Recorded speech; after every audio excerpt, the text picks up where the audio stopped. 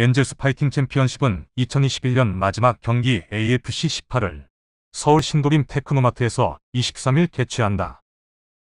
AFC 18의 co-main 매치는 트롯 파이터 이대원의 70kg급 스페셜 매치이다. 그는 2019년 11월 이 웨이동과 한중 연예인 격돌에서 1차 타이틀 방어전에 성공한 바 있다.